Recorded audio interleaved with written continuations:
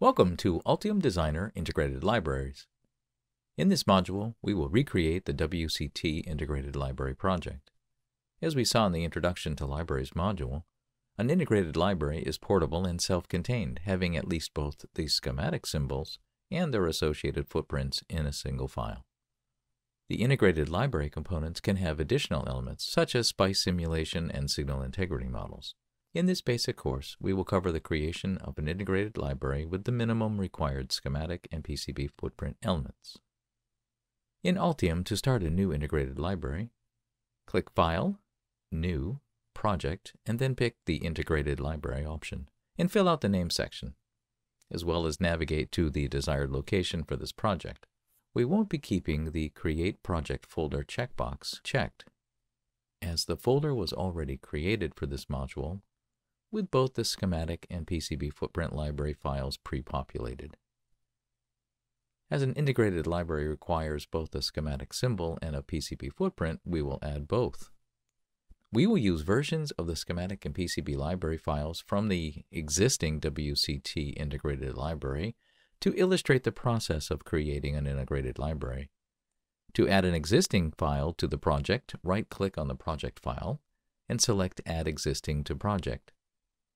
Navigating to the local copies of both the WC Topping schematic library and PCB library files, we select both and click OK. Now, with these added files, we can compile the integrated library project. This will do two things. It'll perform some basic checking and create the integrated library file. The compile compares the symbols and footprints to ensure that there are no mismatches. Right-clicking on the project file, we select Compile Integrated Library. Now, as you can see, there were errors. And yes, we did expect them. Because of the errors, the message window pops up. Let's look at these typical errors encountered with integrated library creation. The first error is a pin mismatch type. This indicates that there is a difference between the symbol pin naming and the linked footprints pad naming. Double-clicking on the error opens up the schematic symbol associated with the error. As you can see, checking the symbol pin, we note that there is a pin 1 and pin 3, whereas when we check the footprint, it has pad 1 and 2. Fixing the numbering for the symbol will fix this error. Now the remaining errors are missing footprints. These can be caused by one of two ways. Typically, either the wrong footprint was called out in the schematic symbol, or the tool cannot find the footprint because it is not in the linked PCB file. Double-clicking on the missing footprint error, we find in this case that there were extra footprints that we did not bring into the current PCB library file.